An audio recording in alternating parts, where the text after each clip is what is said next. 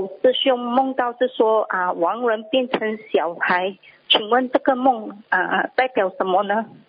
亡人变成小孩，投胎还不懂啊？哦，就是说要投胎啊。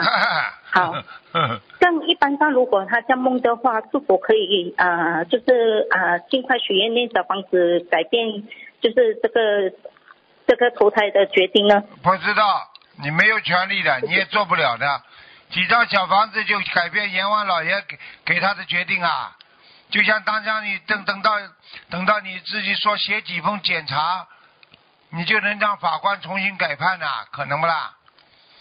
只有在审理的当中，你提供很多的证据，法官才会改变。你已经决定下来的事情，法官会随便改变的。嗯，明白。好，感恩师傅。